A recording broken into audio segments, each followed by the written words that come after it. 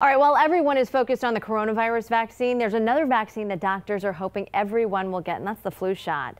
This year, it's more important than ever to get your child vaccinated, according to health experts. And Brightside's Jenny Dean joins us now to explain why they're saying it's so important to protect your kids.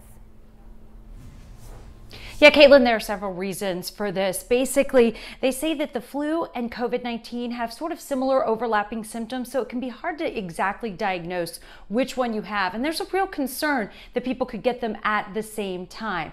But when it comes to kids, they can be especially hit hard by the flu, and we have the means to protect them sadly flu is it still kills it kills people every year and it kills children every year and it's it's sad because it, it's mostly preventable and we see that the high majority of those people who succumb to flu especially in children are children who were not immunized against flu Dr. Joseph Perno is the chief medical officer at Johns Hopkins All Children's Hospital.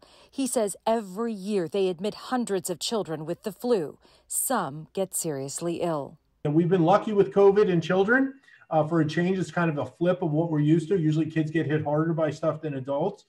Uh, but flu flu hits children very very hard. And while it may be difficult to see your child get a shot, it's a lot easier than seeing them in ICU.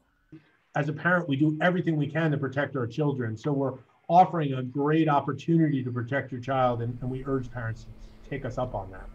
The flu shot is recommended each year for children starting at six months of age, and of course, adults as well. And Dr. Perno says that this year has been a mild flu season so far, and that could be because the vaccine is working along with all of our protective measures for COVID 19 the masking, hand washing, and social distancing.